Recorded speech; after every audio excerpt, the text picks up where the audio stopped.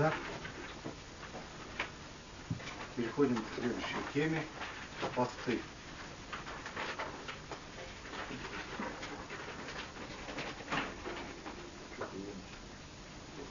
М?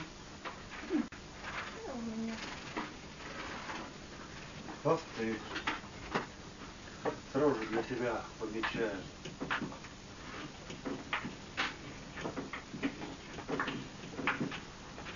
Пост.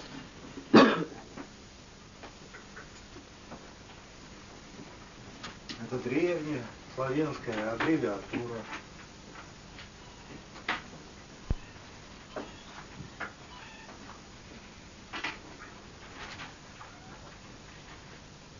Древнеславянская аббревиатура по буквам. Полное очищение собственных телес сотворяша.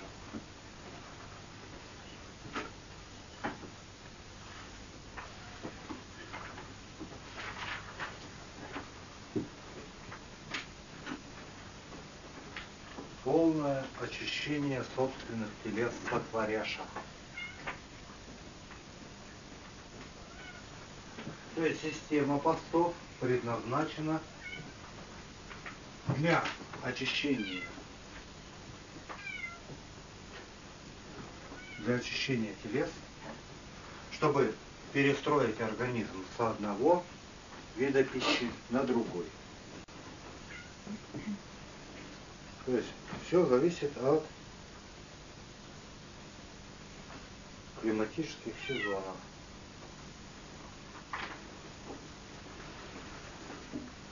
Иди к каше. Кашу возьми, да.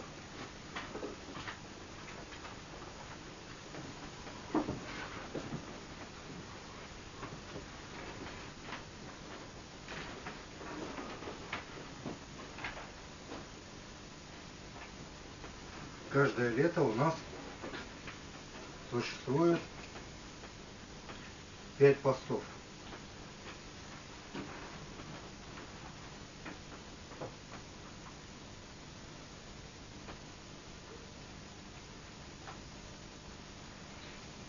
Посты не как в христианской церкви, у них там по 40 дней. Но перед этим они, как это в народе говорят, наедаются от пуза, чтобы потом 40 дней голодать, поститься. Посты идут, как правило, одну-две недели славянскую. Поэтому первый, святый пост, он всего идет неделю, 9 дней. Святый пост.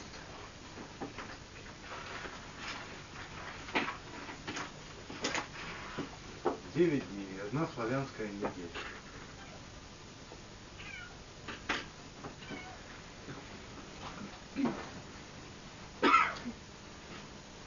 Одна славянская неделя. Он у нас идет с Рамхата 22 дня по Рамхат 31 дня. То есть месяц Рамхат с 22 по 31 день. 22 по 30. В этот период времени православным староверам англингам нежелательно употреблять мясную, мясную, рыбную,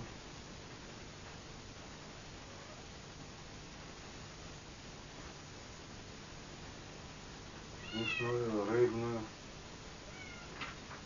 жирную, белковую,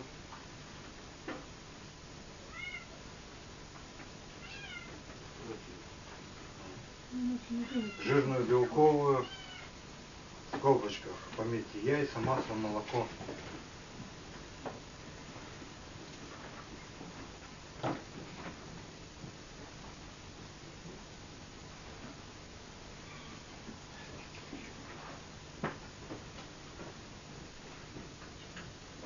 и острую пищу.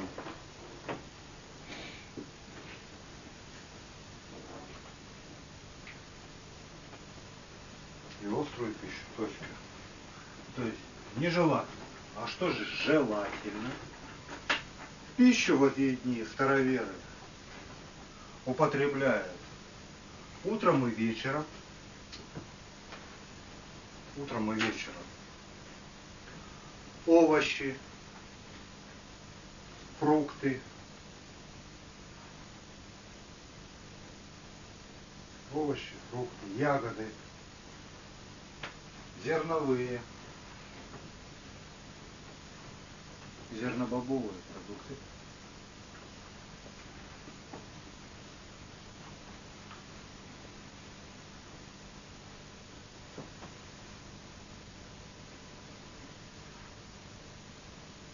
А днем воду, соки и травяные чаи.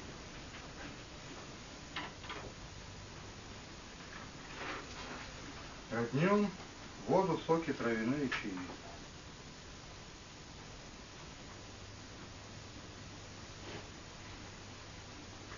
Ну, как правило, многие любят за- заваривать травяные чаи. Это смородиновый лист, малиновый лист, мята, чебрец. Понятно, да? Ромашка. То есть вот такие вот чаи. Это связано с подготовкой организма к переходу на ранее консервированную пищу. То есть, как правило, это у нас, Сергей, какой пост? Осень. То есть это у нас осень. Лето начали, урожай собрали. Еще фрукты, ягоды у нас. На ранее консервированный.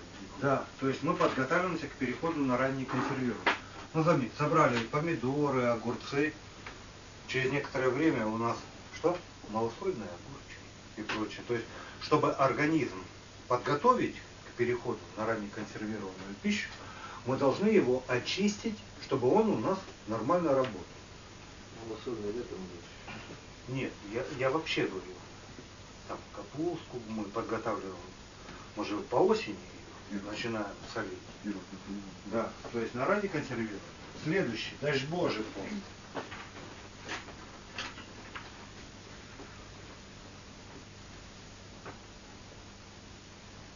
Дождь Божий пост. Слово дождь Бог. Пост. 18 дней, две полные славянские недели.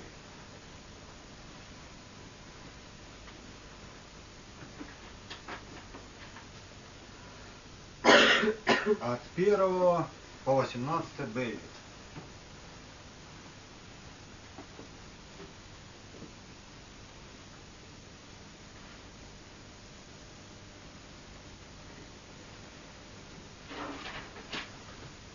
В этот период времени староверы готовят себя к переходу от ранней консервированной пищи на полностью консервированную пищу от ранней консервированной пищи на полную консервированную, полно консервированную. То есть в скобочках можете пометить соление, копчение и так далее.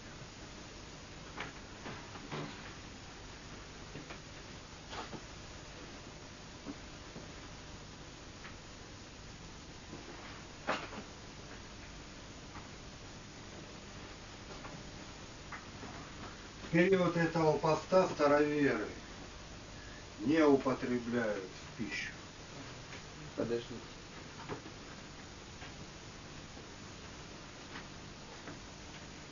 Период этого поста староверы не употребляют в пищу мясо, жирную рыбу. Для тех, кто не знает, что такое жирная рыба, нельма муксун. И все? А? И все? Почему? Нет, я просто как для примера. Для жирного теста. Нет. То есть там действительно рыба жирная. Нельма, муксун, я вам привел. Пример. Считается кижуч тоже как жирная. Ну, осетринка Перед обедом. и так далее. Яйца, белый хлеб, жирные молочные продукты,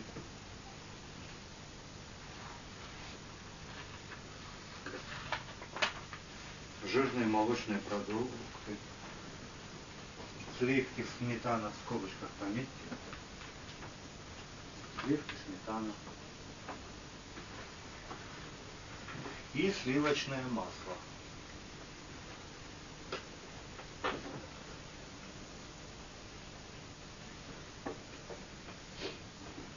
В скобочках помечайте.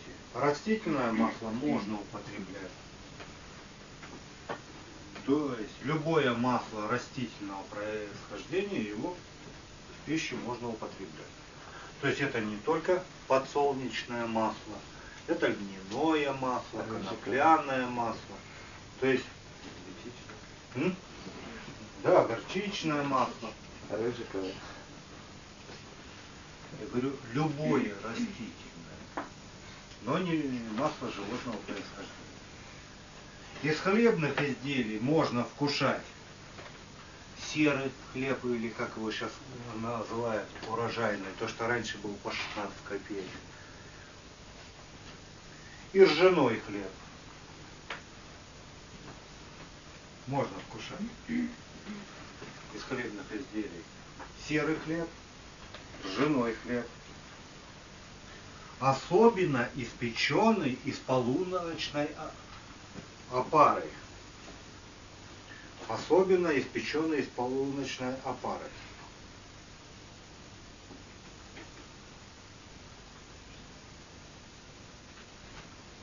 Ну это то есть с вечера заводят. Она стоит, а потом по утру пекут. Также употребляют пищу пророщенное зерно.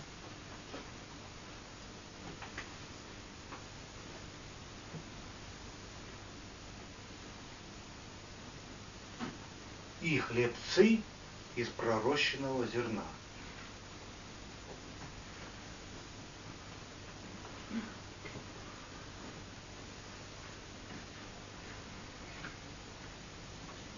Остальные продукты вкушаются так же, как и в святый пост. Остальные продукты вкушаются так же, как и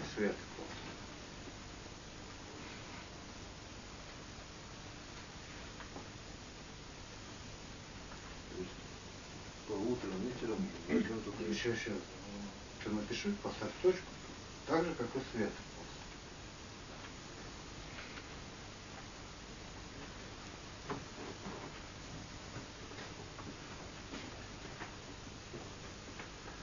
Для улучшения обмена веществ днем рекомендуется употреблять кислую капусту, ну, в смысле квашеную, то есть и кислую, и квашеную, или гречневую кашу.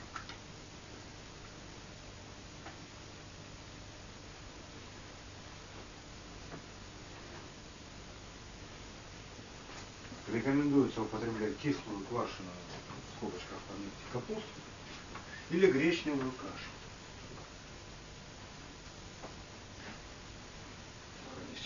Вчера не последний Сережа кушал это его по гречневой каше. да?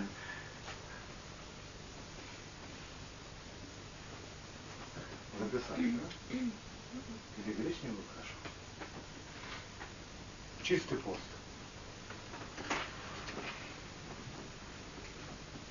Восемнадцать дней, две полные славянские недели.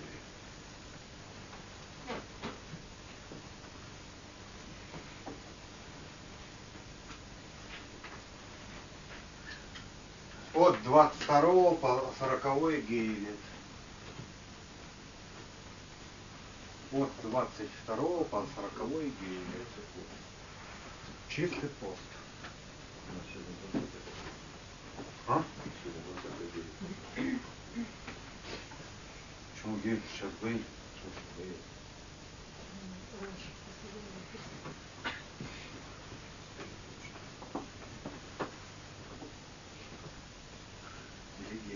Гелий, через 20 гелий. Ну вот, через два дня вы начнете чистый пост. До 13 получается, А? Ой, переводите сами. В этот период времени староверам не рекомендуется употреблять пищу. Мясную, жирную,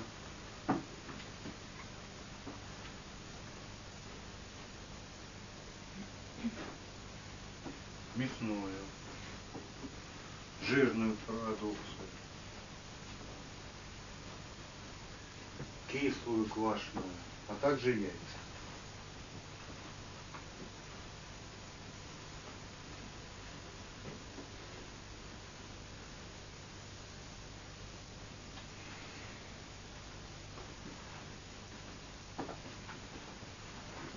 Отметили, да? Любое животное и растительное масло в чистый пост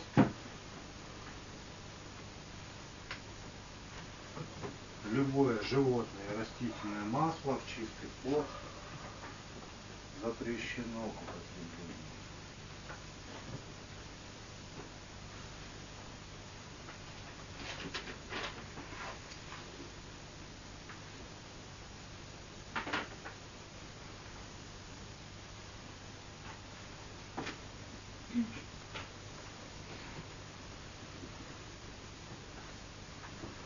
Далее.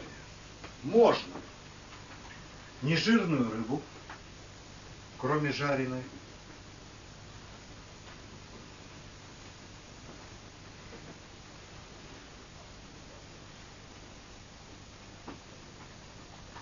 нежирную рыбу, в скобочках, кроме жареной, крупяные каши на пару,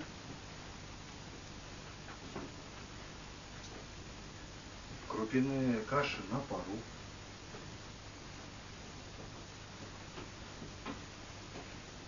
макаронные изделия,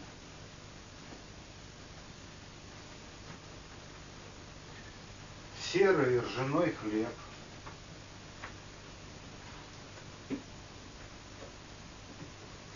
серый ржаной хлеб, орехи, ягоды, соки, травяные чаи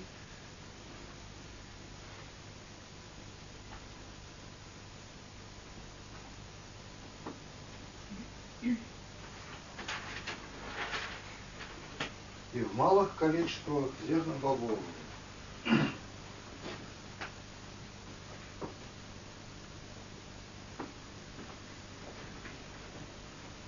Травяные чаи в малых количествах зернобобовые.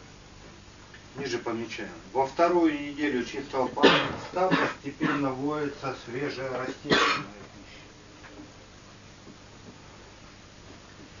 Во вторую неделю чистого поста постепенно вводится свежая растительная пища.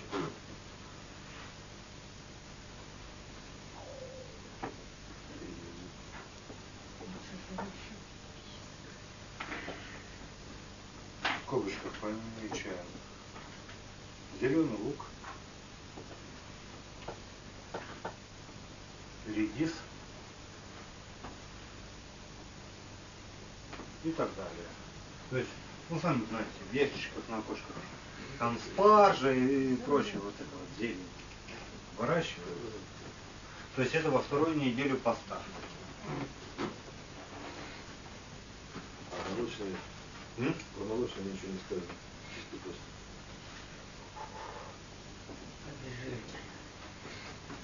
В магазине.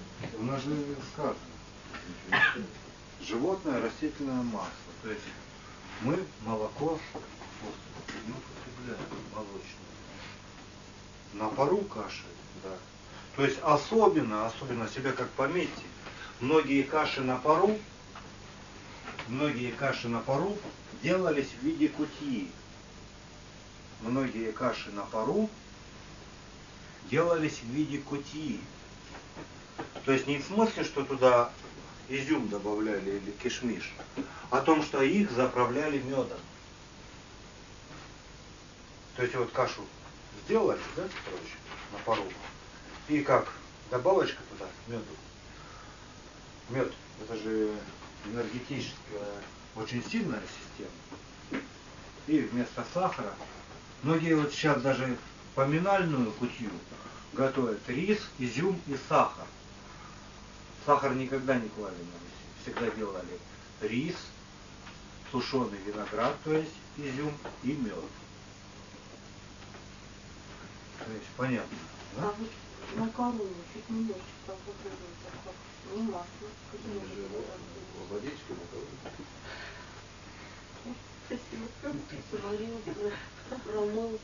Нет, макаронные изделия наши предки как делали? Они делали нежирное тесто, да, раскатывали в листы, резали в лапшу, на полотенце просушили, вот, я в виду вот эти вот, домашняя лапша, вот такие. Это заранее оно высушивалось, понимаешь?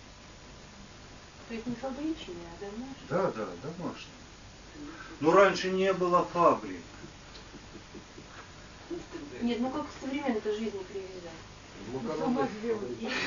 Лапшу наделать, все само. Л- Лапшу делают, зачем? На почту Только в магазин. магазине это берут. Дальше, следующий, Великий пост.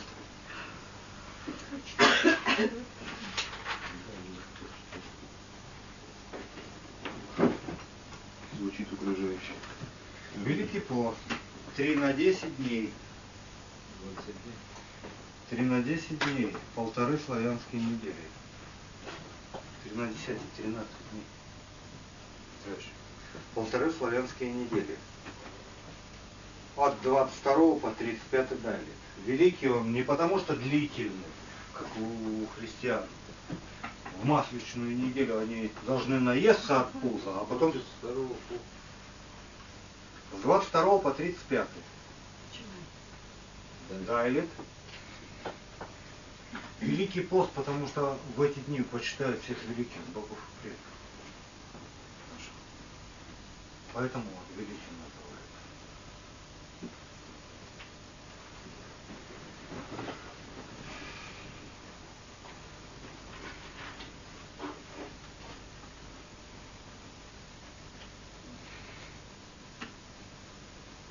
В этот период непозволительно употреблять жирную мясную пищу.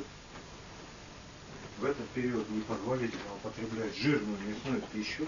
В скобочках, кроме мяса курицы и кролика.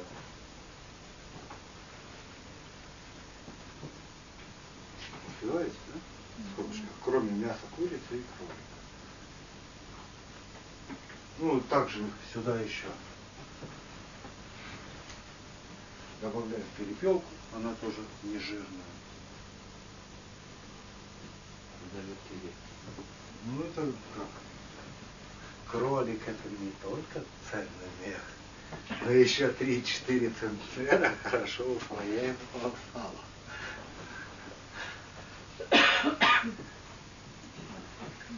Кролик, закрыли скобку.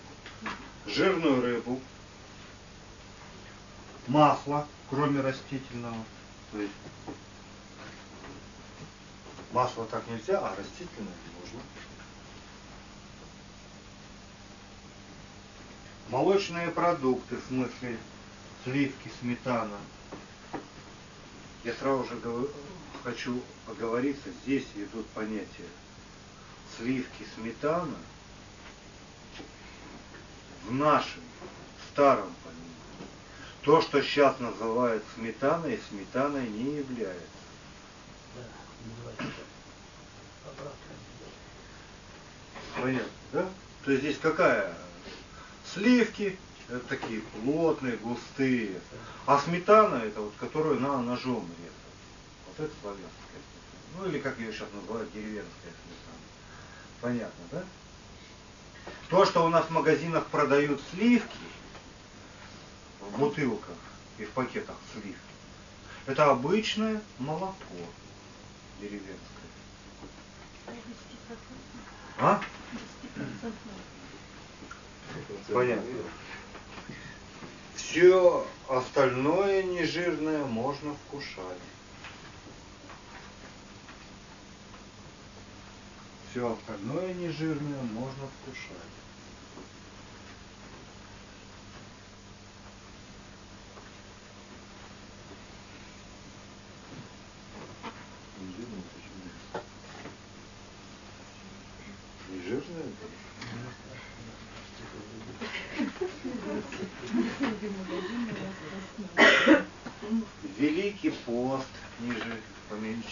Великий пост рекомендуется.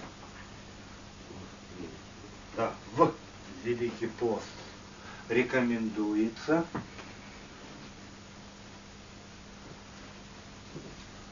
в ежедневный рацион вводить кедровые и грецкие орехи.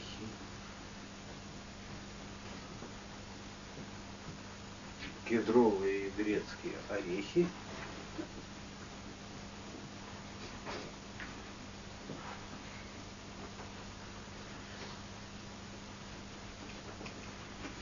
ибо они не только очищают пищевод и кишечник, ибо они не только очищают пищевод и кишечник,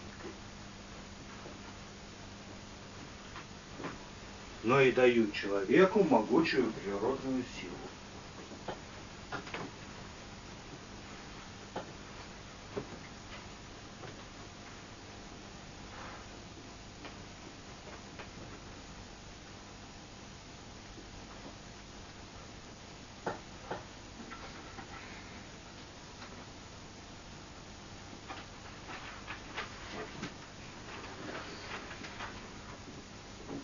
Также хочу всем напомнить, что черные семечки вообще запрещено употреблять.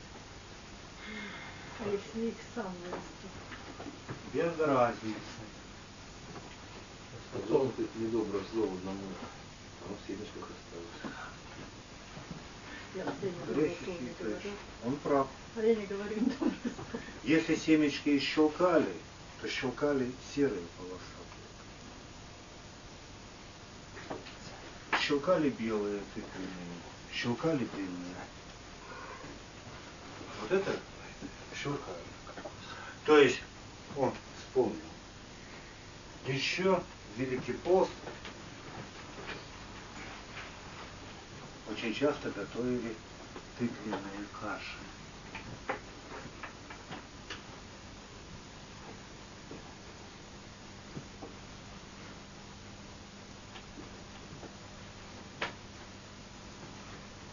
Мне бабушка всегда готовила. Я не знаю. Ну, тыквенную кашу там и пшено добавляют. Это лето уже. А? Нет, почему? Мой Великий пост. Почему? Это вот у нас. Будет сейчас Красногор, Масленица. А сразу же за Красногором начинается. Года остаются. Да. Они же хранятся. Они же хранятся.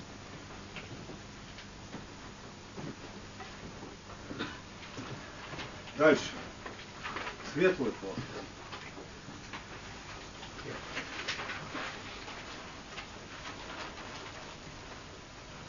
Восемнадцать дней, две полные славянские недели.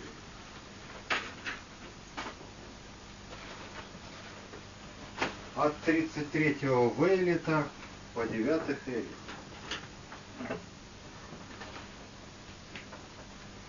От 33-го Вейлита по 9 Элит.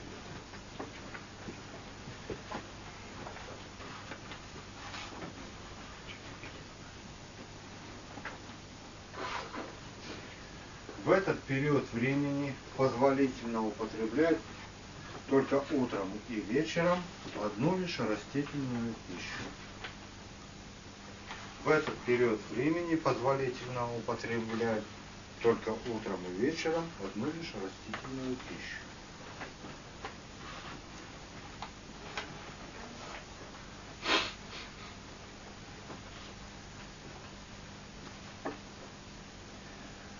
То есть, да?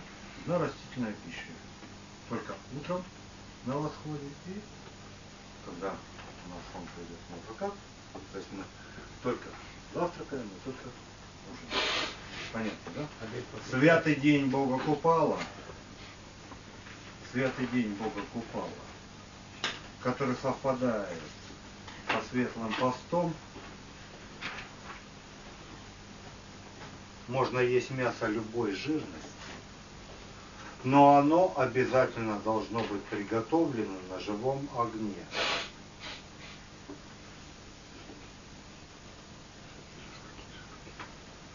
Можно есть мясо любой жирности, то есть не только мясо, но и рыбу, но оно обязательно должно быть приготовлено на живом огне.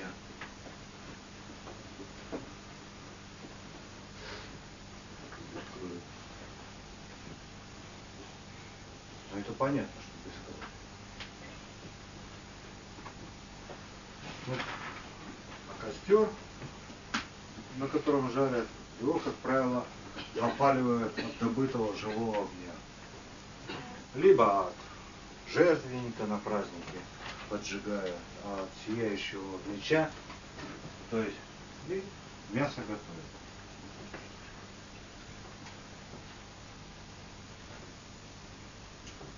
Но раньше это у нас готовили мясо на вертеле. Ну, сейчас делают шашлыки. Либо на кованках делали. Знаете, вот огонь, а сверху как платформа железная, кованка. Она как пупырышками сделана, и там огонь проходит. И сейчас это делают вместо кованок на решетках. Куски мяса хорошо прожаривают.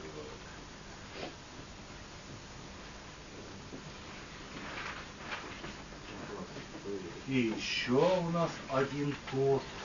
Шестое же. Он называется однодневный пост.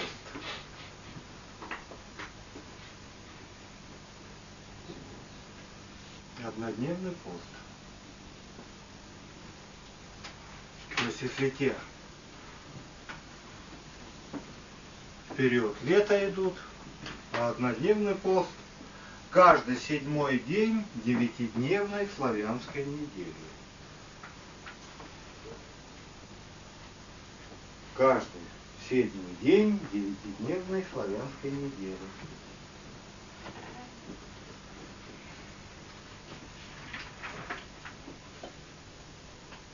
Согласно заповеди Сварога, почитайте три дня на неделе, третий, седьмой и девятый. Точно. Точно. В этот день рекомендуется воздержаться от принятия пищи вовсе. В этот день рекомендуется воздержаться от принятия пищи вовсе.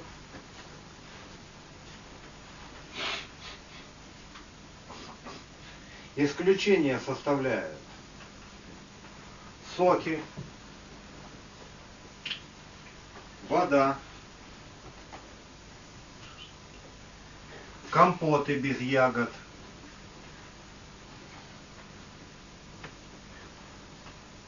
травяные чаи и кисель.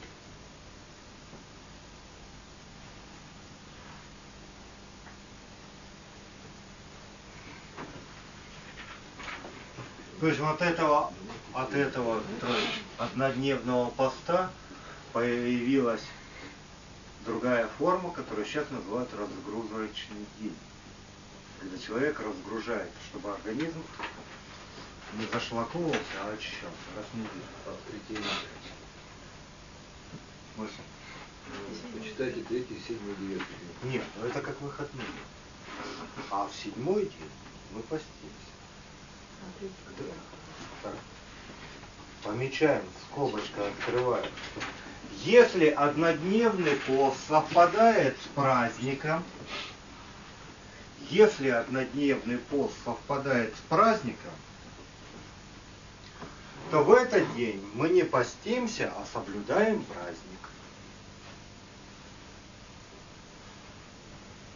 То в этот день мы не постимся, а соблюдаем праздник. А день рождения тоже считается? Но день рождения, как поет Николаев, грустный, но праздник. А если это укол? праздник детства. И никуда от него не деться. Поэтому раз день рождения праздник, значит, Надо список составить. у кого какой праздник. Соблюдаем праздник. Отметили все. С новой строки пишем, не соблюдаю посты. Не соблюдают посты. Малые чада до 12 лет.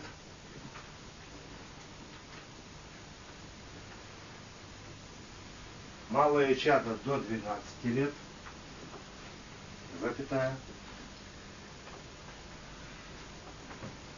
Беременные кормящие матери.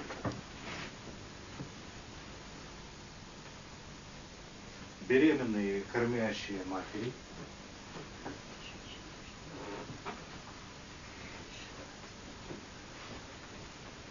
Женщина раньше. Постоянно. Не есть, надо выбирать. Запятая. Старцы и старицы после 60 лет.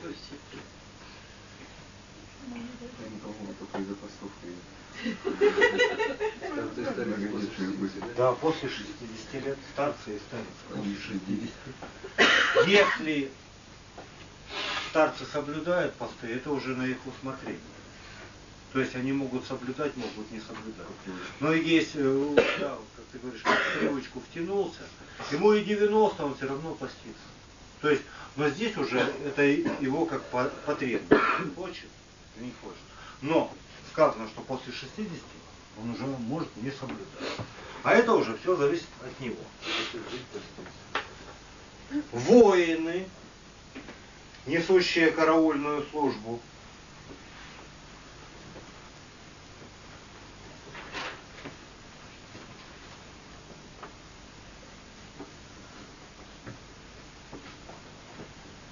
За печкой тоже корову считают.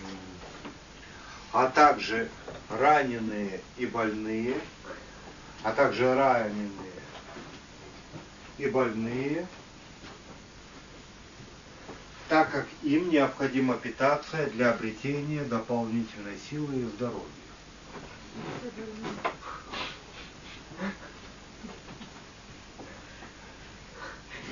Прежде всего. Да, да, да, я про это себе думаю. Появляется, наверное. А на, на ночь сварога есть поправка?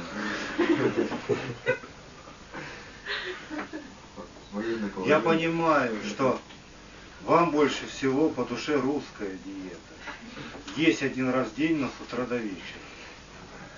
Но очиститься от шлаков тоже можно. И также не соблюдают пост жрецы во время, в те дни, когда они проводят обряды,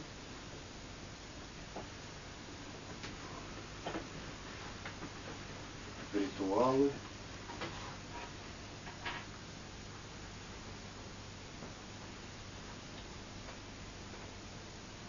обряды ритуалы, связанные с использованием природных сил.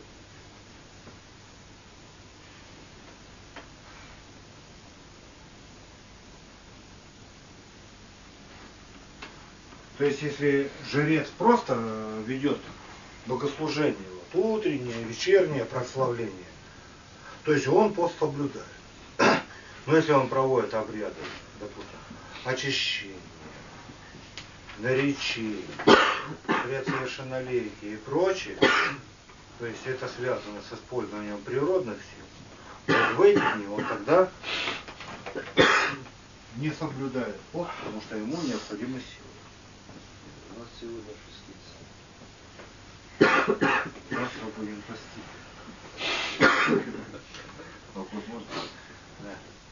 Вот такой вопрос меня интересует. Как связано все эти посты, допустим, не только посты, вообще хотелось бы узнать о бане. В какие дни баня, как рекомендовалась и, допустим, чаще всего проводилась. И, допустим, если там не совпадало, то есть обязательно это пост с баней. Ну, про баню. Потому почему? Отдельная тема. В старые времена, в старые времена баня топилась трижды в неделю. Третий, шестой, девятый день. То есть каждый третий день была баня. Еще раз запишем. Давайте. В старые времена баня топилась. Да. И трактат о бане. Баня топилась. Баня с большой буквы. Топилась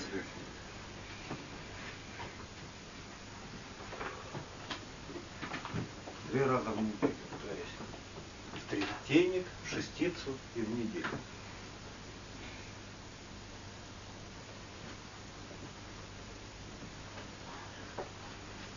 Я почему этот вопрос задавал, потому что интересно, что кто-то ходит в баню натощак, что в этот день мы ничего не едим, мы пойдем в баню. Я, допустим, не могу голодным в баню идти. Я там, я там рухну просто при температуре, которая Нет. желательно. Нет, Сергей, здесь маленькая не так. В баню не идут с полным желудком. Что наелся и пошел в баню. За- загодя, загодя. Ты поел, а потом пошел. Понимаешь? То есть где-то за 2-3 часа до бани поел, чтобы у тебя пища переварилась, чтобы ты получил силы, а потом пошел чиститься. Это одно. Когда начали вводить христианство, вводить христианство, ввели же на Киевщине византийский календарь, ну, 1 марта. И люди начали ходить по субботам. То есть, как бы, ввели же выходной суббота, шаббат, да? То есть в этот день они мылись. Воскресенье, чтобы на воскресный день, ну, у христиан, быть чистыми, ну, потому что считалось, что воскресенье это Христов день, чтобы к этому времени быть чистым. А потом христиане, так как сами вот эти попы, они ходили грязные, немытанные, нечесанные, они начали бани запрещать. То есть, почему? Потому что вот вы окрестились, окрестились, все, святая вода с вас все смыла, а вы с себя хотите святую воду смыть. И бани уничтожались, сжигались, как в летописях сказано, яко место поганое и бесовское. Ясно, да? Иван Третий, царь, всей Руси, помер от фурункула, возникшего грязи. Да. Андрея. Не Иван Василий Третий, Василий. Иван Третий. Василий Третий. Иван Третий. Оба. Почему оба? А отец Ивана Грозного, Василий Третий, он же Иван Васильевич был. Не знаю. У него фурункул, он, Фурункул, да. ну как, это же у Усадник конячих, да, от грязи, от этого тут. пот на, и кожа натирает, появляются черри и фурункулы. Карл Марс чуть не помер от фурункула. Но тут не ездил, конечно. Ой, это я и в армии наблюдал. Может, Петрович, в армии как? Каждый день чистый белый подворотничок подшивали. А чтобы много раз не подшивать, наши сограждане, узбеки, и таджики, и казахи, они нажива- нашивали белую клеенку. Ее раз тряпкой вроде как протер, и все, и подшивать не надо. Белоснежный подворотничок. И что через некоторое время у них? Чири и фурункулы по шее. Ходили вот такие вот шеи. А чего? Пот попадает, натирает, и все. Не видел. Далее. Вот было три дня в. После введения гонений на баню, баню начали топить два раза в день. Ой, говорю, два раза в день, два раза в неделю. То есть на четверг, отсюда и выражение чистый четверг, и на неделю, то есть в четвертый и девятый А в тех местах, где вообще тяжко было,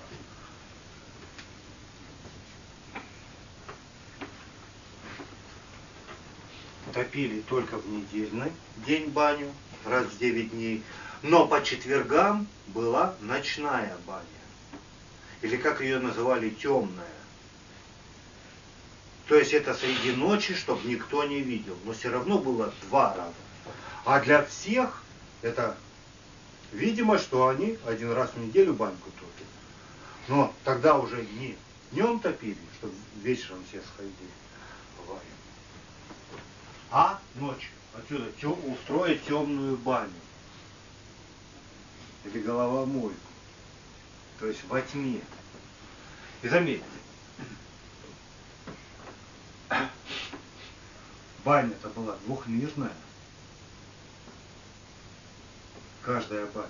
То есть ее делали в две закладки. Первая закладка. Это люди сами помылись, попарились, очистились. Потом что делалось? Баня полностью вымывалась, вычищалась, заливалась свежая вода в каде, ну в кадушке. По новой растапливалась, мыло свежее, венички свежие, растапливали ее хорошенько, говорили, что навьи мойтесь, закрывали двери и на, на вертушечку или подпирали. То есть баню для кого топили? Для умерших предков и для банника, чтобы он тоже мог попариться. То есть хозяин бани. Поэтому, говорю, двухмирная. То есть сначала жители явного мира парятся, моются, чистятся, а потом жители мира Нави, Навного.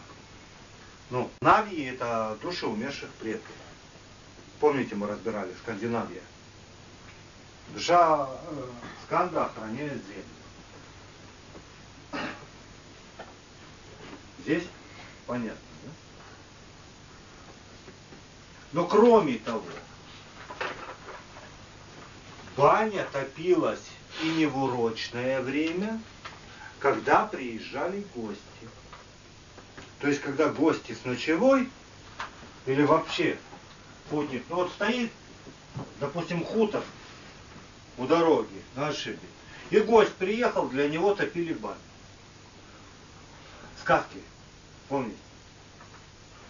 Ты мне сначала баньку истопи, да. Напои, накорми, а потом уж расспрашивай. То есть дай мне привести себя в чистый вид. Смыть себе усталость и прочее. Два вопроса, можно уточнить? Да? Э, Когда оставляли веник для меда Нави, что, что говорили? Навьи мойтесь. А, не мотив, да? Да. И второй вопрос. А, вот если, допустим, ходишь по огню, очищаешь дух. Там прыгаешь через костер, очищаешь душу. Ходишь по снегу, очищаешь там дух твой, да? По первому кругу. А баня что очищает? А баня, тела. баня, она очищает физическое тело.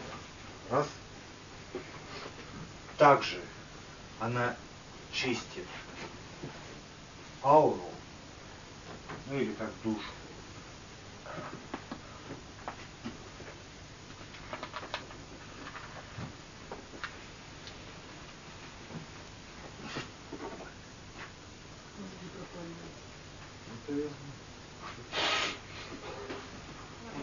То есть, как правило, душевное и духовное и физическое состояние. Сергей, правильно помню? Бача, баня лечит, баня правит. Баня на ноги.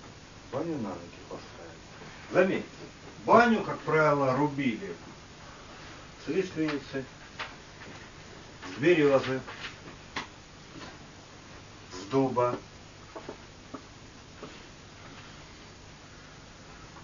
Ну и других излучающих. Полоки и лавки, полки и лавки делали из осины.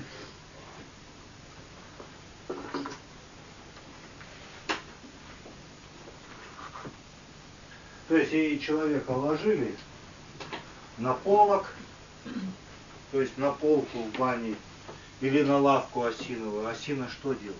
Вытягивает. Вытягивает из него всю хворь, а его дубовым березовым веничком светлую, свежую силу в него вправляет, вгоняет.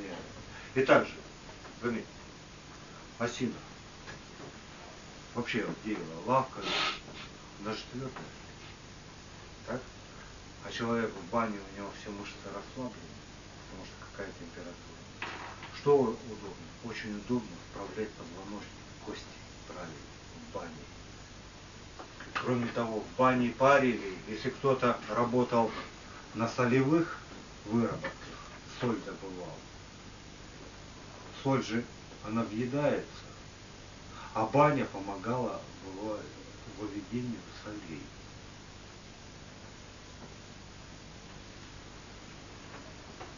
Кости правильно. Ну, многие делали дыбу в бане.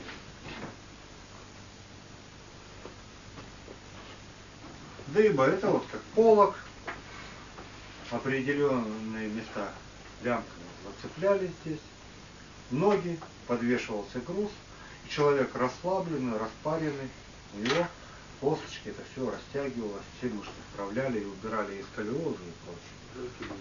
А? Валькирия. Да, в Валькирии есть, но там один из способов описан. Потому что есть и другой, который не описан в Валькирии, который называется лепешечная баня. То есть человека в бане пропаривает вениками, растягивает его, потом его выносит на свежий воздух, колодезной водой окатывают, ну его в бане могут окатить, вынести, то есть как для контраста, а потом ему во всю спину, которую проминали мышцы кости, ему лепешку. То есть мед с ржаной мукой перемешанный в лепешку, это все накладывается, во всю спину раскатывается и укрывается рушниками, то есть полотенцем. Что получается? Мед и ржаная мука соединяясь, они создают как бы вторую баню. Мед проникает в поры, прогревает каждую мышцу, клеточку, восстанавливает энергоканальчики, и человек начинает оживать. То есть ржаная мука с медом. И там же в бане, да, делают? Ну, в предбанник его выносят. Но если лето, то на улицу. Я имею в виду, на улицу, когда на улице там 25-30 градусов. Ну, баня-то, она же в основном как делалась?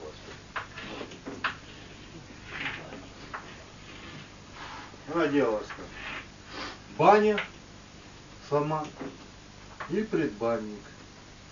А к нему еще, допустим, вот здесь вот были сени, сени, то есть входить в баню. Ну вот как старые бани делали. А вход был вот здесь в баню. Чтобы тепло из бани напрямую не выходило. Либо даже не здесь делали, а вот здесь. То есть ты тут мог попариться, а здесь мог просто помыться. Или пристраивали третье помещение, где стоял самовар, стол, лавки, разделись, здесь помылись, здесь попарились. Ясно, да, как на три части? С лепешками долго он лежал. А, Лепешки, как правило, где-то полчаса порядка, минут 45. А потом это все снималось.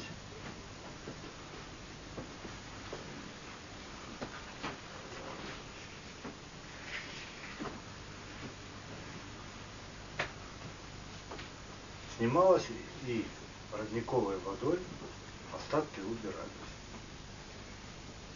Той же, той же колодезной, да? Родниковой. То есть колодезную могли из реки, это в баню. Но специально для лечения брали с родников. А еще лучше, как говорили, с девяти родников. То есть разный родник, он несет же, помните, мы линии Хартмана разбирали, определенные энергетические выходы силы. И вот в этих источниках, в каждой точке там же все равно маленько разная энергетика. И вот мы взяли из девяти источников, там взяли кувшинчик, там, там, там, там. И чтобы набрать вот этому человеку, надо, чтобы была одна вода, но имела свойство, допустим, пяти или шести источников, или девяти, что в специальную ступу сливали и толкли воду в ступе. То есть как бы перемешивали вот эти вот свойства различных родников в один. И потом этой водой смывали, давали попить этой воды, делали рушник, мочили и как компресс еще сверху.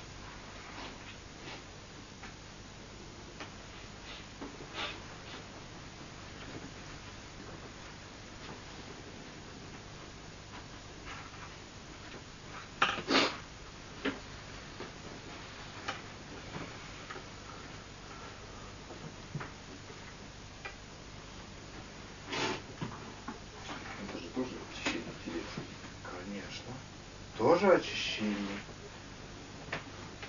Только с чего начали, у Сережи есть такая нехорошая черта, он мне все на целительство выносит. Ну, хороший, хороший. Хороший, хороший. Нет, он вытягивает то, что им.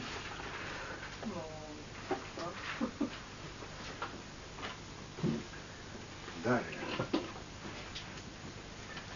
Чтобы вот эти вот все системы соблюдать, я имею в виду, посты, баню и прочее, чтобы соблюдать, необходим был определенный образ жизни. Образ жизни. И чтобы человек нормально гармонировал с окружающим миром. Боги, которые прибывали на землю, они для тех, кто оставался на Мидгарде, они оставляли свои заповеди. Но чтобы эти заповеди выполнять, были даны два великих принципа. Первый – свято чтить богов и предков своих. И второй – жить по совести в гармонии с природой. А как это жить в гармонии с природой? Для этого и существовали э, заповеди. То есть боги давали их множество.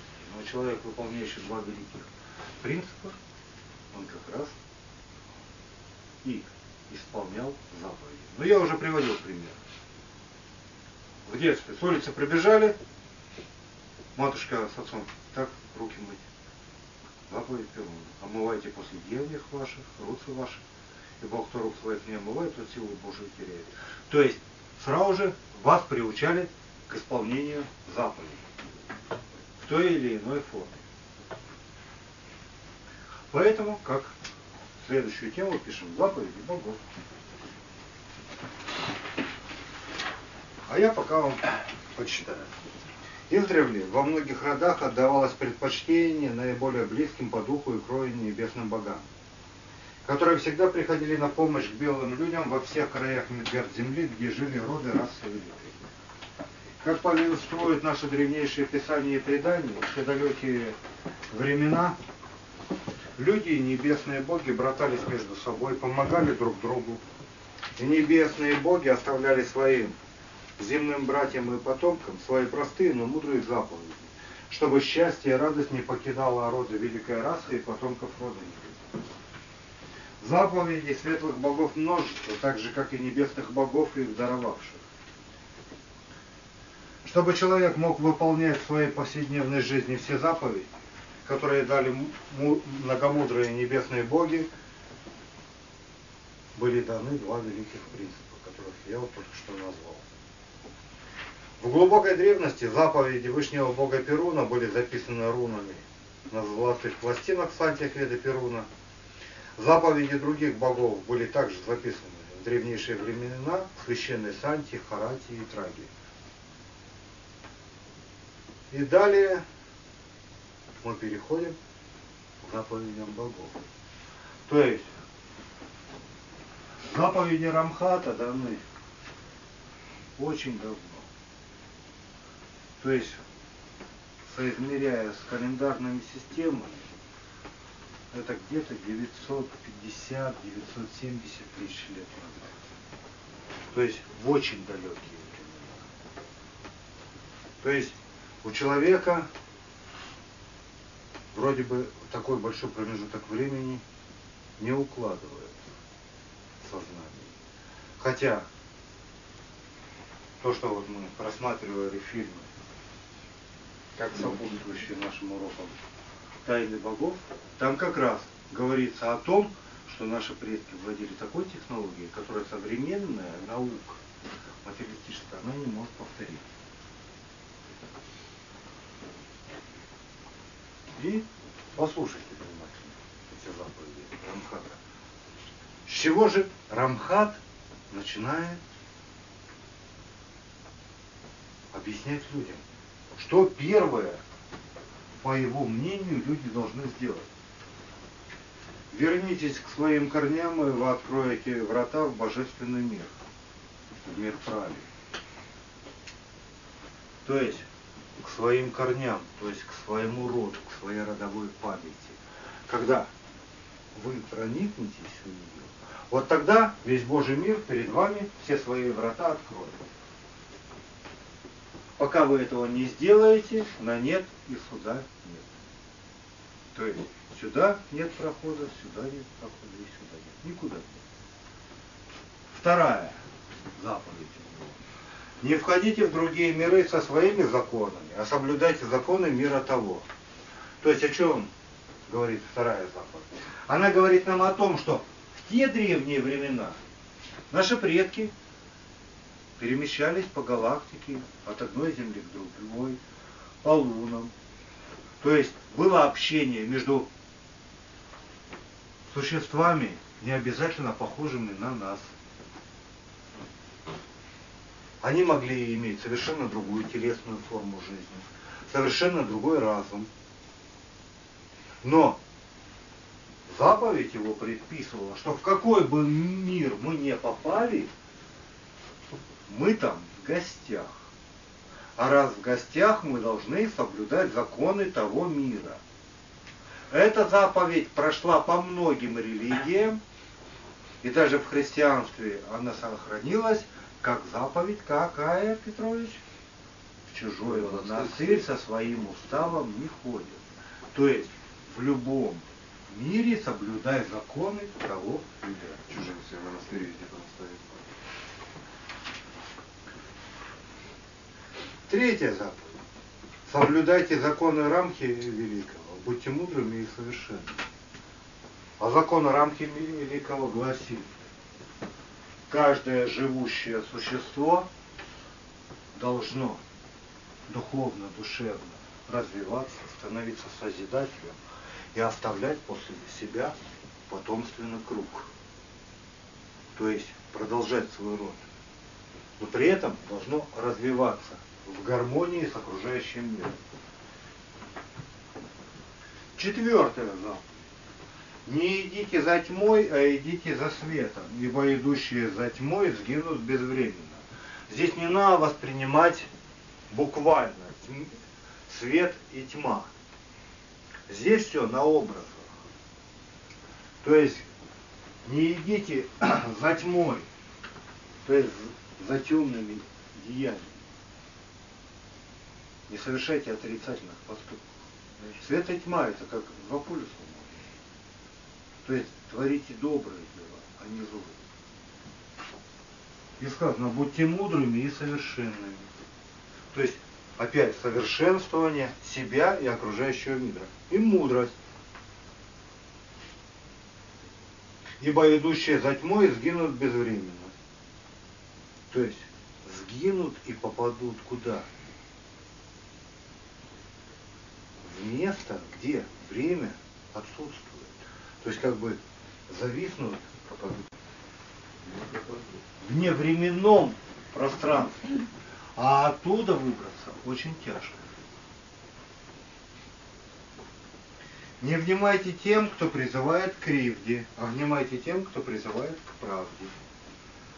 То есть, вспомните, мы разбирали. Сейчас в советском языке есть правда, его противоположность ложь.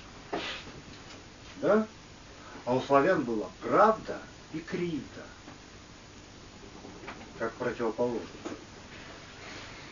То есть вот правда это прямая форма, чистая. А кривда, то есть искривленная, искаженная. А то, что называется ложью, это поверхностная информация. Ложи, поверхность. То есть ложь это поверхность.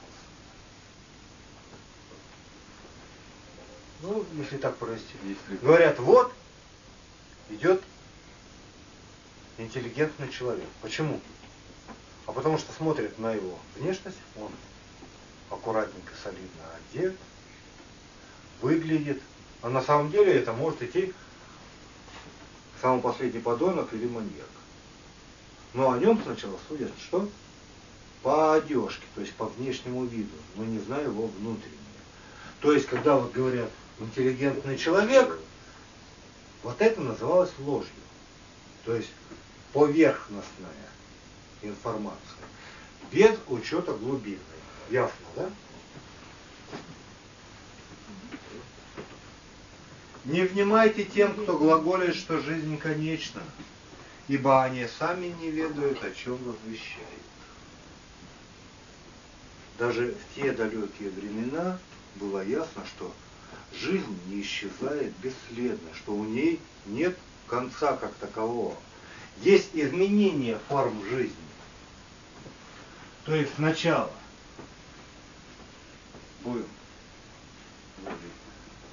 в четырехмерной структуре человек живет. Потом, развиваясь, совершенствуя, он переходит в следующую гармоничную, 16-мерную. Потом в еще большую мерность. И так далее. Да, он уже перестает существовать как четырехмерное, но он начинает существовать как шестнадцатимерное существо, то есть он больше охватывает систему. То есть, а те, кто этого не знает, поэтому все равно, они сами не ведают, о чем возвещают. Не внимайте тем, кто глаголит, что ближний ваш ворог ваш, а внимайте тем, кто глаголит, что ближний ваш друже ваш. Ближними, как правило, назвали родичи, родственников, близких людей. Кто поверит, что отец или мать желает, или дед желает зла своему сыну и дочке? Ведь забыли заповедь. И у большевиков же получилось натравить сына на отца, дочь на мать, брата на брата. Восьмая заповедь. Идите через миры многие, познавая их и совершенствуя дух свой. О чем он говорит? Что каждый из нас должен идти по золотому пути духовного развития. И при этом совершенствовать свой дух, развивать его. Девятое. Познавайте мудрость Бога единого. То есть здесь понятие род. И обрящите свет Божий на пути своем. То есть, когда человек идет, потому что предначертано у него, говорят, на роду написано, Здесь же сказано, мудрость Бога единого. Каждого из вас породил единый Бог род. То есть мама, папа, деды, прадеды, вы все говорите, это мой род. Он единый, множественно одновременно. Но идет понятие единый род. И обрящите свет Божий на пути своем. То есть ваши предки вам будут подсказывать в следующих мирах. А вы представьте, сколько миллионов лет назад они жили, ваши родичи, и куда они продвинулись. И когда вы переходите в следующий мир, на каждом определенной ступени, на определенном отрезке пути, они вам подсказывают, что вам надо делать дальше и куда идти. Далее. Не давайте веды тем, кто во зло превращает их, да на погибель всего живого. То есть не давайте мудрость тем, кто не подготовлен к ее восприятию.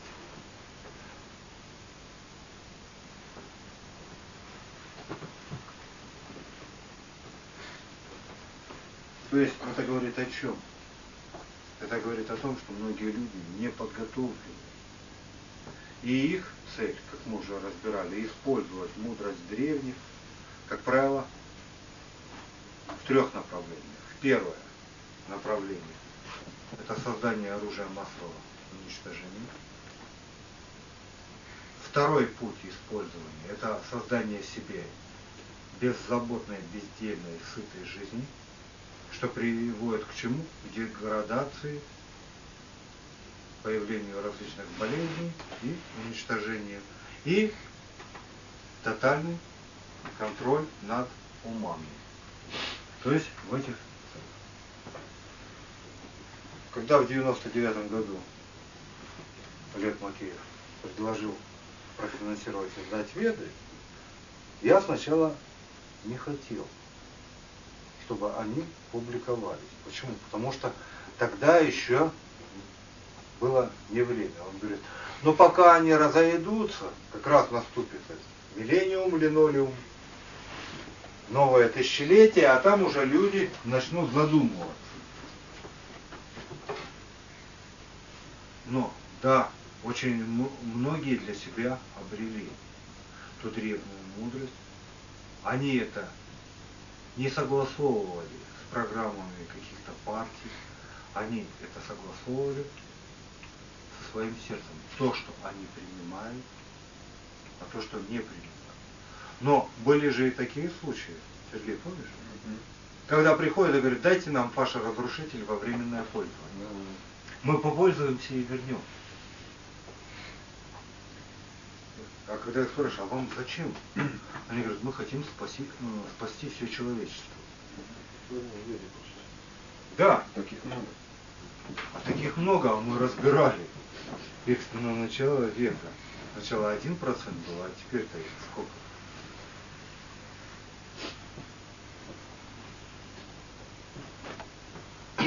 Далее.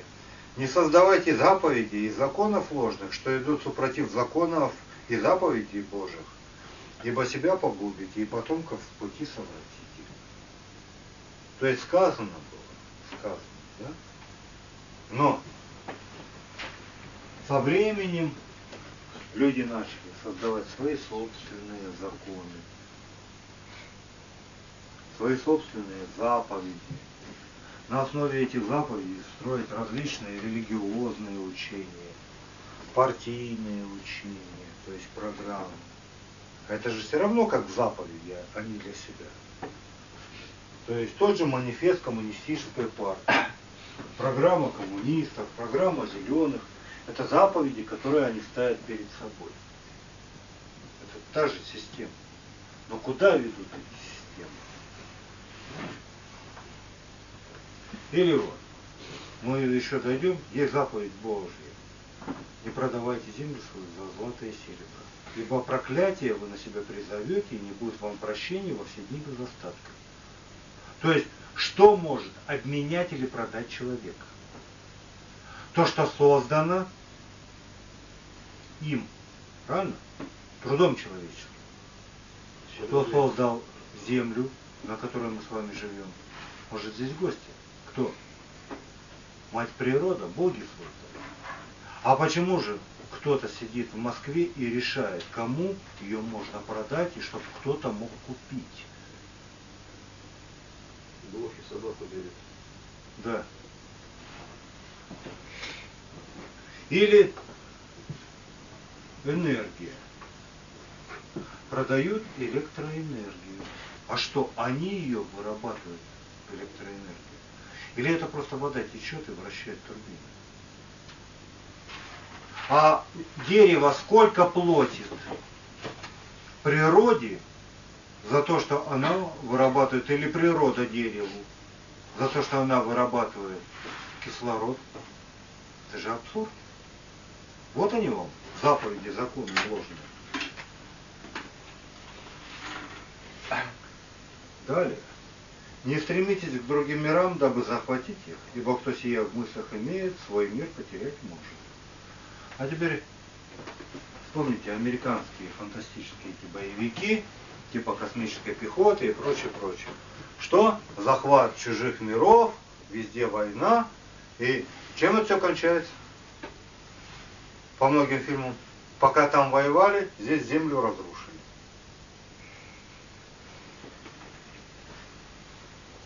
То есть, ну, не обязательно из космоса кто-то придет разрушать. Их агенты влияния, так называемые, они уже давным-давно здесь. И они ее и так разрушают. А теперь вдумайтесь следующее. Не думайте, что многие земли безжизненные, на них жизнь вами невидимая, вашими чувствами неощущаемая. О чем это говорит? Что жизнь существует в различных формах. И не обязательно, если мы не видим, то этой жизни нет. Ведь слепой же не видит звезд, солнца, деревьев, гор. Но они существуют. Вспомните. Мы разбирали, вот у нас Ерила, вот у нас Хорс,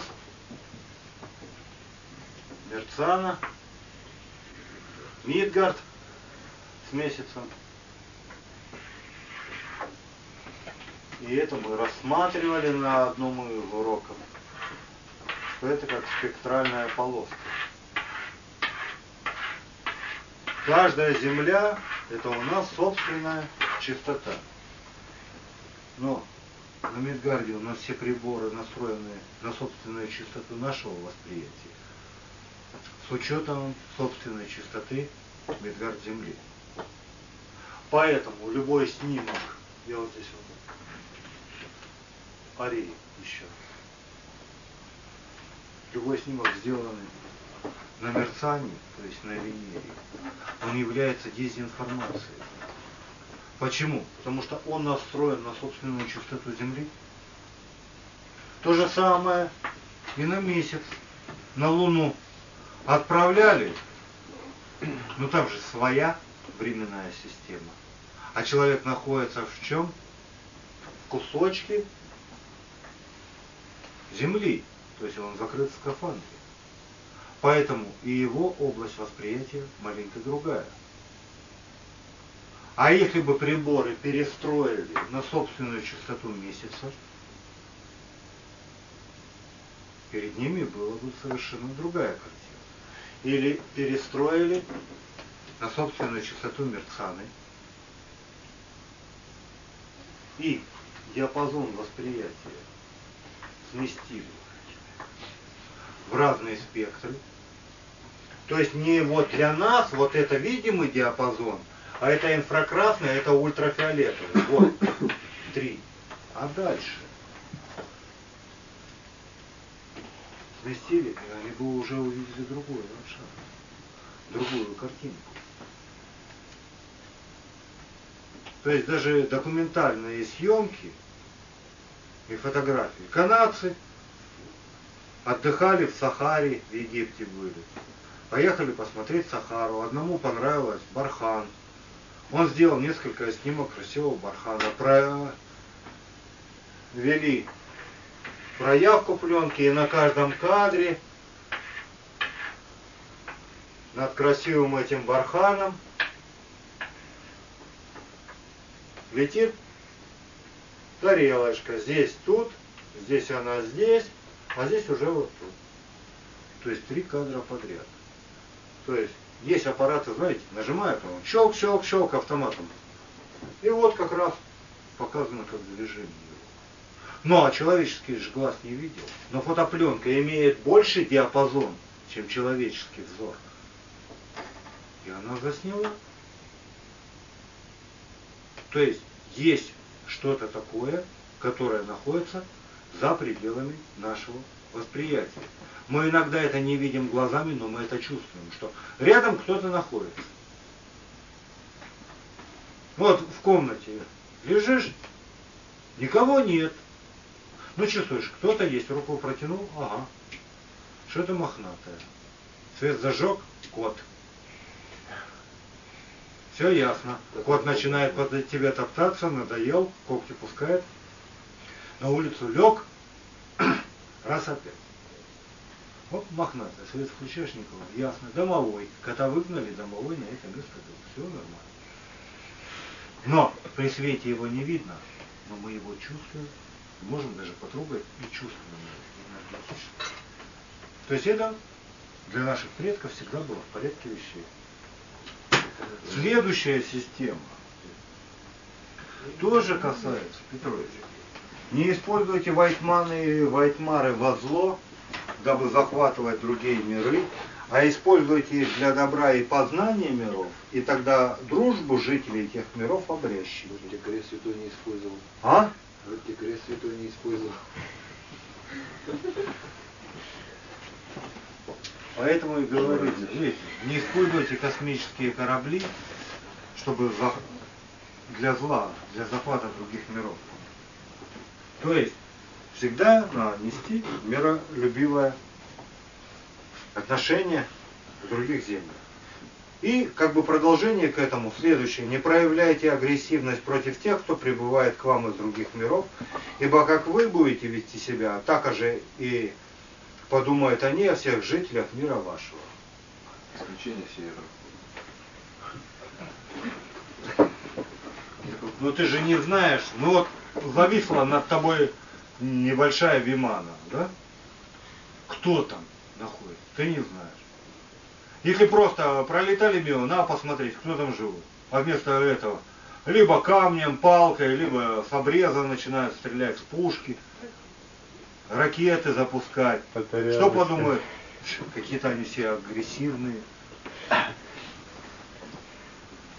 То есть они сразу же о всех подумают. То есть и улетят. Раз агрессия в одном месте, значит агрессия и везде. Шестнадцатое. Не разрушайте мир ваш и природу его, ибо себя погубите и мир свой потеряете. Здесь как раз говорится о сохранении природы. То есть самый страшный враг для человека это он сам. Но уничтожая самого себя, он также умудряется уничтожать окружающий мир. Далее. Уже пошли житейские формы. Да, отвер... да не отвергнет жена первого мужа своего, ибо отвернется род небесный от нее. Сантьях Веда Перуна мы здесь эту систему родовых законов Рита обсуждали. То есть эта заповедь входит. То есть не отвергнет жена первого мужа своего, ибо отвернется род от нее. Почему? Первый мужчина у черри оставляет образы духа и крови. То есть кто был первый мужчина в жизни женщины, от того она всех детей родит. То есть и здесь говорится, что Петрович, помнишь фильм смотрели? Сибирский спас. А ваша жена умерла? Почему умерла?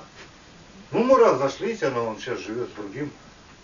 И земля ее носит. Девочка эта, старообрядка. И в глаза ей не плюют. Вот. Ну, раз не любит, теперь другого любит. Да должна любить, кого бы Бог не послал. То есть, что говорит? Любить надо не любого, а любимого.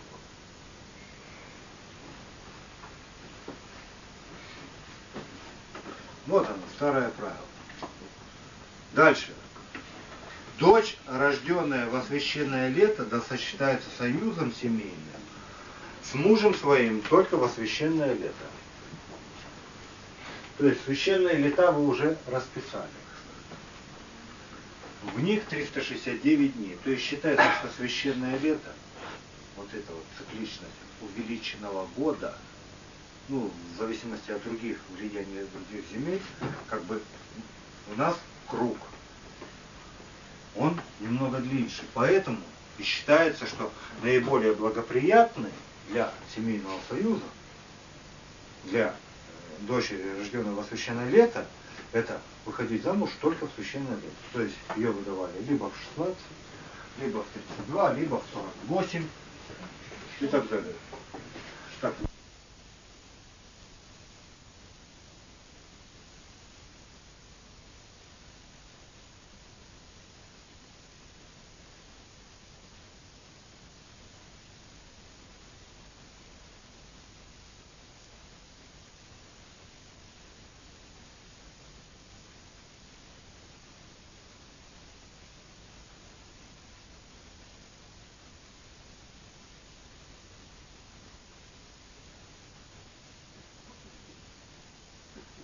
вам внушает программу, сколько лет вы должны жить.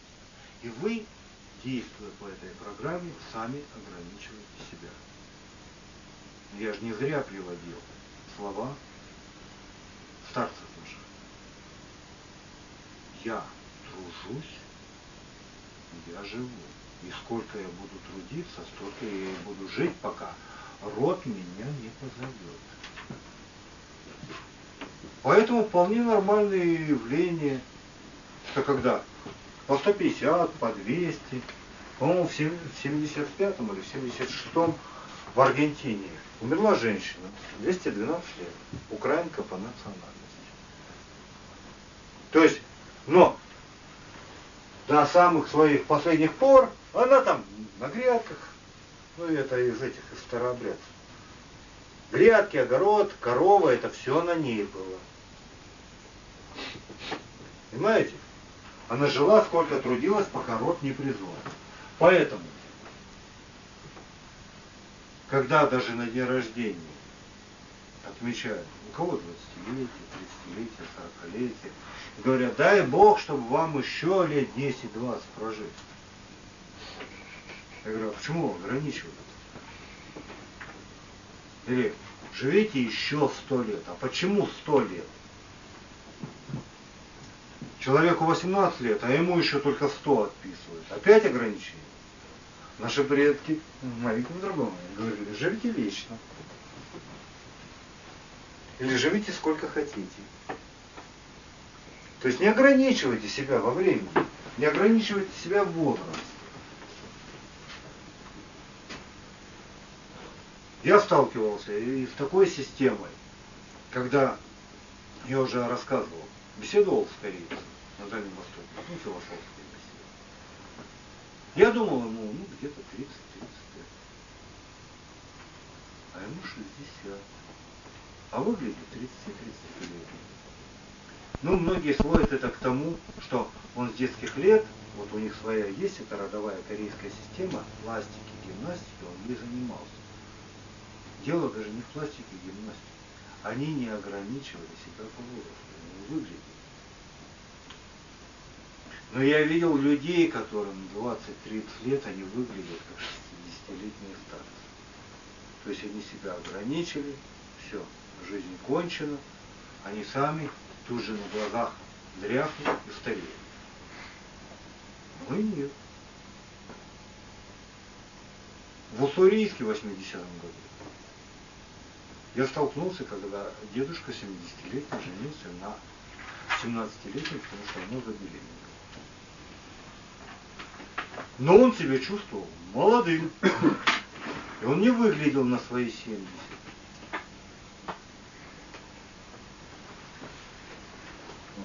Но и видел, что человек читает газеты,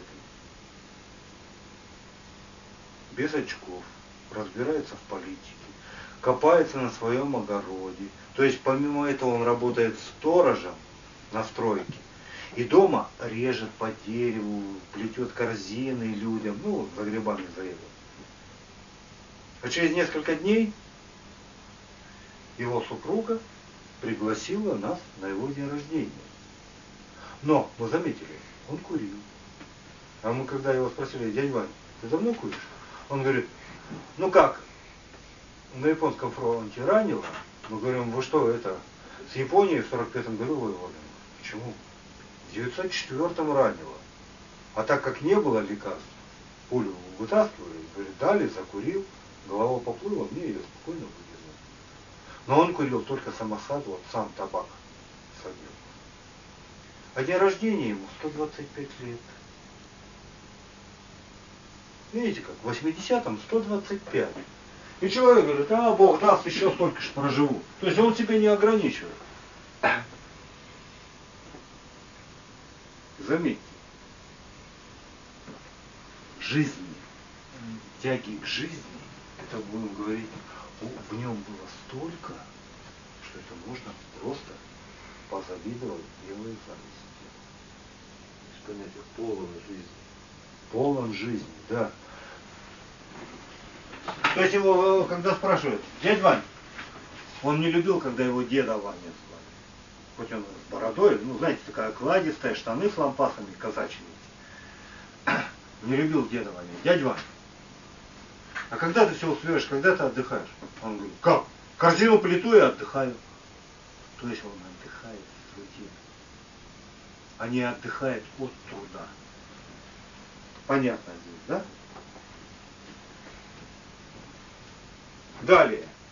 19. Да не коснется перст отца другой жены, когда жена его носит чадо его под сердцем своим. Вот здесь уже все на энергетике. Если супруга беременная, мужчина даже не, не должен прикасаться к другой женщине. Не в смысле физического полового контакта, а вообще даже за руку брать чужую женщину. Почему? Потому что каждый из нас излучает энергию. Если он даже просто поздоровался, на его руке оказалась чужая энергетика. Взяв тут же яблоко, он пошел, допустим, домой, ну, купил яблоко, и жене подал. И вот эта чуждая энергетика остается на яблоке, она проникает вовнутрь. И женщина съедает, вот эта чужая энергетика может негативно повлиять на его ребенка и на жену. Поэтому нельзя. А сама она может прикасаться? Саша, зачем? Зачем? Ну, получается, как ограждаться полностью от мира. А? Нет. Ну раньше же как? Не здоровались масонским рукопожатием. Раньше как? Кивок головы, здравствуйте.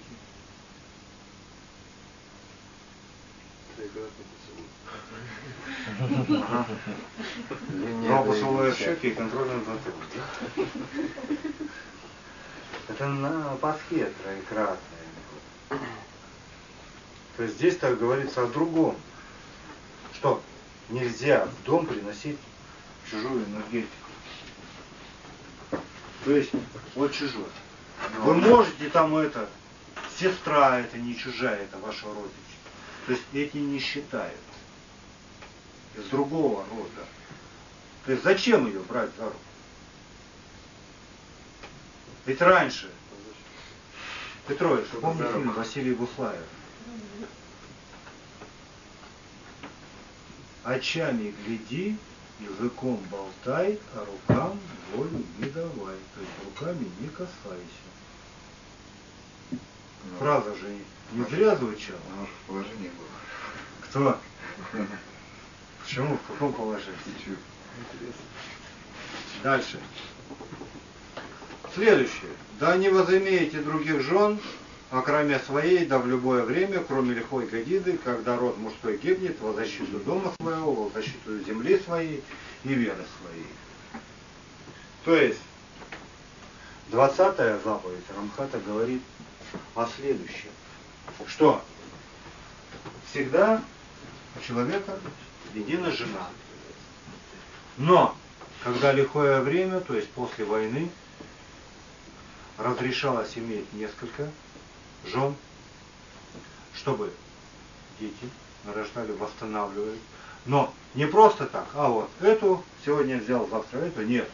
Вот забрал под крышу рода своего и просчитал, сколько ты в состоянии прокормить жен, прокормить детей, внуков, то есть сразу же продумывалось.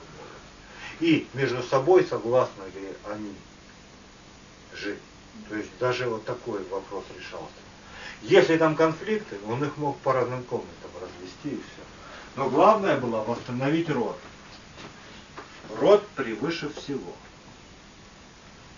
Чеченская война еще будет. Все идет. Поэтому Жириновский говорил, что надо вести. А здесь на подсознательном уровне, вы заметьте, в советских семьях есть жена, и есть еще муж содержит двух любовниц. А может даже и три семьи, которые между собой друг друга не знают, но он для всех ездит в командировки, да, в разных городах. И зарабатывает Александр деньги и содержит все три семьи. И детей.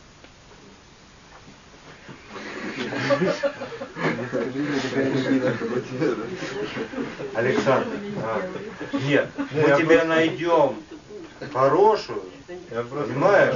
А как ты? Нет, я понимаю, что у вас в Канаде там мормоны по несколько жен имеют. Но ты же не мормон. Не, я просто думаю, поправка на ночь сварога там. Ты сначала одну прокорми, чтоб думать о нескольких. Найдем мы тебе одну? Найдем. Жене мы никуда ты не денешь. Когда же А? Когда?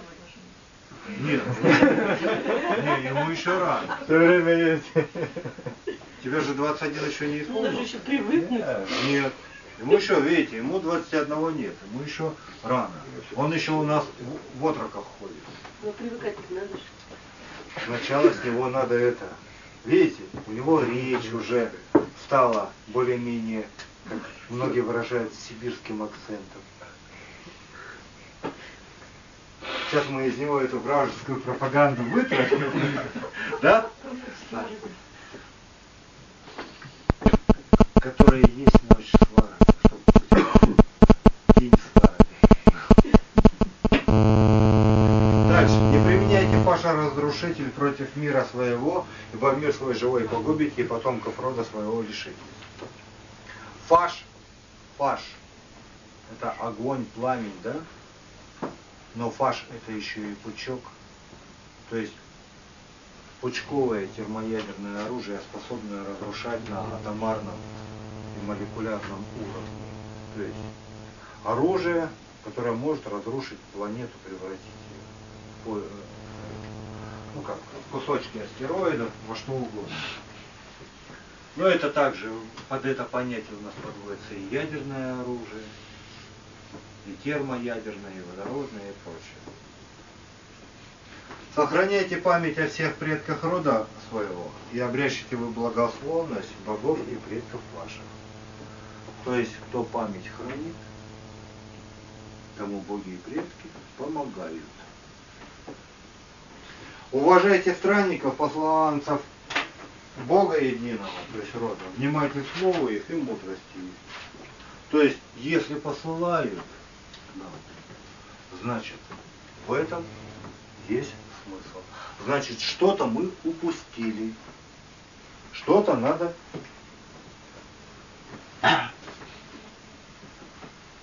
восстановить. И они приходят и говорят, а вот там-то, там-то вы не соблюдаете. Все. Вернулись к изначальному. То есть не новое принесли, а вернитесь к изначальному. Не живите по законам, что создали люди, дабы лишить вас свободы, а живите по законам Бога единого. Поэтому я и приводил постоянно фразу, которую говорили наши предки. До богов высоко, до Московии далеко, поэтому жить будем так, как деды наставили. То есть не прописаны в Москве законы, а законы человеческого рода, которые шли из поколения в поколение, из рода в род. Не произносите имени Бога единого в суе, а глагольте его только в великие праздники. То есть здесь говорится о том, что просто так имена Божьи не произносятся. Потому что когда вы произносите, вы подключаетесь к нему. А раз подключаетесь, вы его потревожили. То есть он же думает, что вам нужна какая-то помощь, а вы, допустим, просто в обиходе. Поэтому на праздниках, богослужениях употребляйте сколько душе угодно. А так, сказано Бога великого.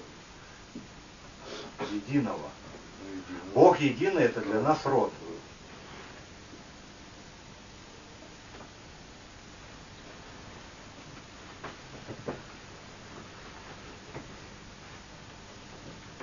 Далее.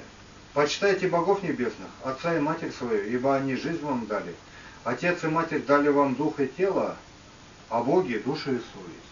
То есть мы это уже разбирали.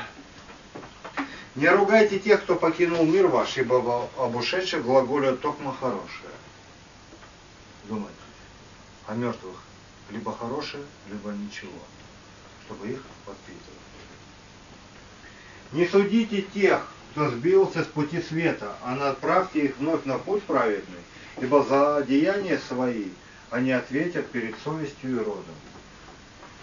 То есть, если вы увидите, что человек сбился с пути света, ну подскажите ему, что вот, ну не прав ты, вот надо так-то и так-то. Но выбор за тобой. Хочешь делай, хочешь так. То есть, они сами будут отвечать. Но подсказать, направить, где у них упущение, это нужно. То есть не пройти мимо. 29 заповедь. Не устыдитесь вы то- того, что дано вам природой вашей и родом единым, а стыдитесь незнания и невежества. То есть, заметьте, все, что мы имеем, это да- на- дано нам природой и родом. То есть, наше тело, наш внешний вид, наш облик, образ поведения, мышления, это все дало природа. То есть сказано, стыдитесь незнания и невежества. Вот чего должен стыдиться. А что современная пропаганда говорит? А незнание и невежество это в сторону. Вы и так от рождения умные. Вот смотрите, у вас прыщи, надо клеросил. Вот это тушь от Макс Фактора и прочее. То есть что менять? Обращайте внимание, то есть не на духовные, душевные познания, на мудрость, а просто на внешний вид. Ну и получится как кукла, да, манекен. Разукрашенный, но внутри пустой. М? Да, и ноги не мыть. Воздайте уважение богам вашим и Творцу единому, и обрящите мир и покой в жизни вашей, и да будут открыты врата между мирия для вас. То есть, когда человек живет полностью в гармонии с окружающим миром, со своей родовой памятью, с предками, с богами, то есть мир у него в душе и покой, и вокруг него. И врата между мирия для них открыты. То есть они спокойно сквозь них проходят. То есть нету эмоциональных отрицательных перегрузок, которые их могут, знаете, как в аэропортах стоит. Если у вас лежит железо в кармане, вы прошли раз зазвенели, так? Выгребайте все из карманов, иначе вы не пройдете. Здесь то же самое. Негатив, нервозность, это вот как ограничить. 31. Строите храмы, да во всех мирах познавайте мудрость Божью. Ибо кто мудрость Божью не познает, тот себя потеряет. А для человека самое важное что? Не потерять себя. То есть то, кто он есть на самом деле. 32. Чтите свято все праздники, что оставили вам предки ваши. Украшайте жизнь свою радостью и деяниями благими, да во славу богов и предков ваших. То есть, почему праздник? В праздники идут такие, наши предки просчитали, от природы излучения, которые нас наполняют дополнительной силой. И мы жизнь украшаем недорогими поместьями, там, обстановками и прочим. Жизнь должна украшать чем? Радостью и деяниями благими во славу своих богов и предков. И чем больше мы это делаем, тем больше мы развиваемся, тем больше сил. И последняя, 33 заповедь. Соблюдайте заповеди мои, что дал вам, и обрящите помощь мою, да во все времена. Вопросы можно? Теперь можно вопросы. Так, первый вопрос.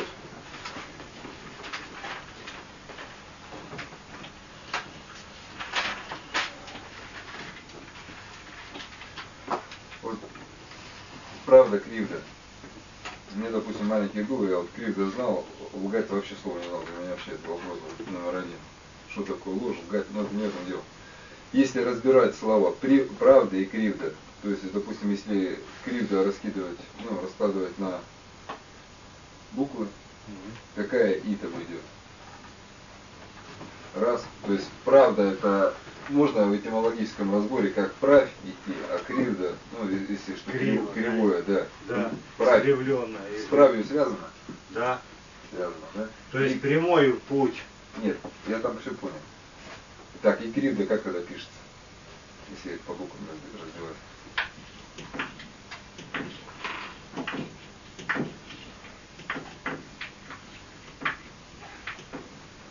Старославянская. Вот, я тебе так говорю. Есть такая, да? Да.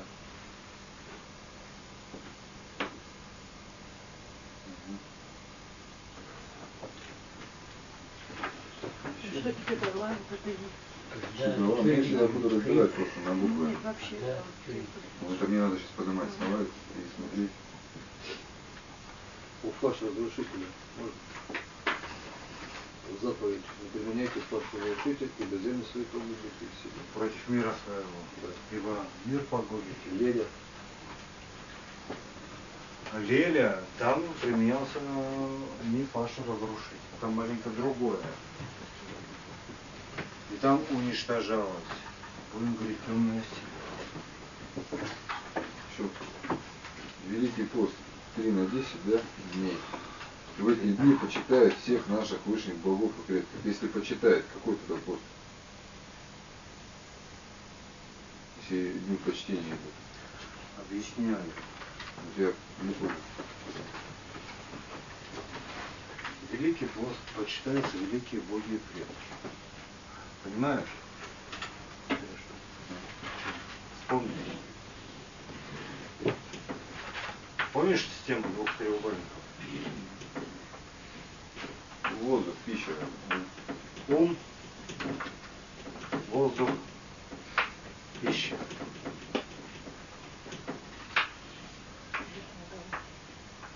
Ум, воздух, пища. Понял, да? Когда Великий пост ограничение в питании, ты больше думаешь о богах и предках, и больше, раз ты о них думаешь, ты получаешь от них силу, которая компенсирует тебе питание. То есть, как бы сказали йоги, ты переходишь на прановое питание, на природное питание. То есть ты ограничиваешь себя в земной пище, но больше получаешь небесной пищи. То есть эн- энергии, которые необходимы для пробуждения твоего организма. То есть после времени Мары, то есть после зимы. Здесь понятно, что? Так. Еще? Параллели. э, Там, видимо, ну, борьба э, Лелю мы будем разбирать на уроках истории, когда вот это вот деяния, веды, это мы будем там разбирать. У вас, по-моему, завтра наследие предков, веды. И вот там как раз будем касаться и различных аспектов. То есть там будут у нас веды. Так, еще. Все?